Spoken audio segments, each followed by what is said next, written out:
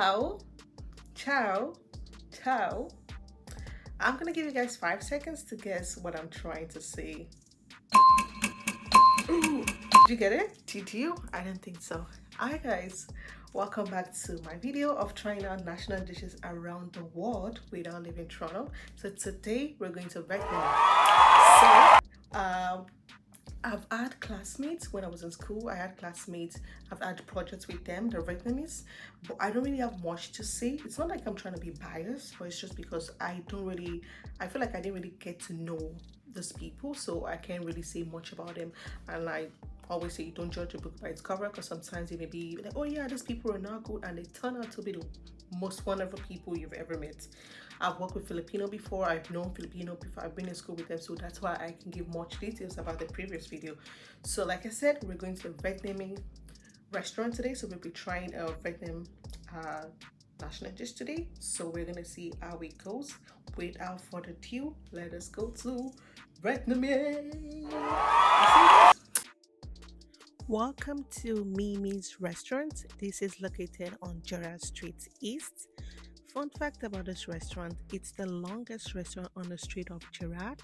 It's been open since 1994, which is over 30 years now.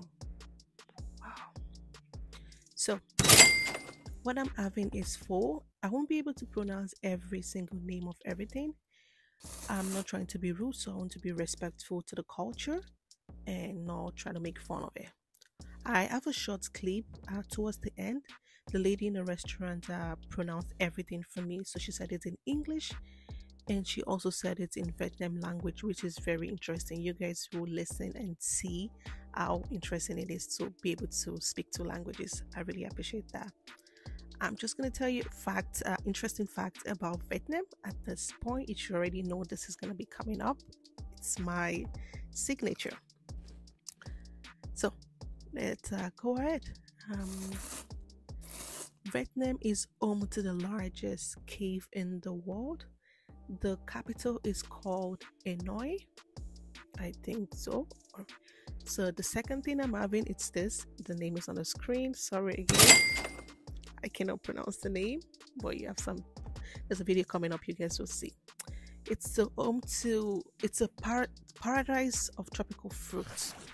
So tropical fruits we're talking about mango, passion, uh, dragon fruit, passion fruit, guava, papaya, all of those stuff. So the paradise, like that's the paradise for all those fruits. Uh, yeah, this was the second thing I was having. So the name is already on the screen. I showed you guys earlier. So as someone that doesn't like coffee, I was so proud. I, I was so happy they offered uh, tea instead. So I was like, thank God and Vietnam is the world's largest coffee exporter. I don't know number one. I think maybe Ethiopia. I'm not sure. This is the other thing. This thing that she I'm unwrapping.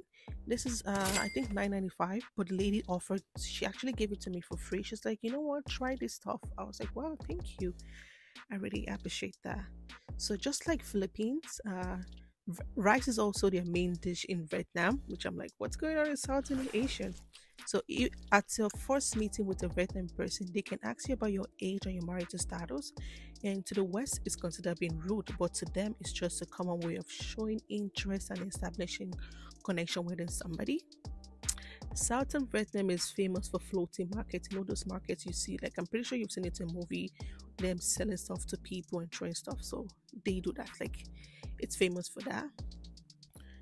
Uh, there are also diverse culture in that country so they are very very welcoming to newcomers. So just like i said so the next clip is going to be the lady pronouncing the name of the food. I hope you guys enjoy. So this one here is the barbecue beef with shrimp on sugar canes vermicelli and it's served with the fish sauce on the side. The vietnamese version called is bún bò nướng chảo and what you do is that you pour the fish sauce on top and you mix everything up together and it's ready to serve. And this one here is pho biệt, is the assorted beef noodle soup. It have a combination of the rare beef, brisket, beef ball, and tripe.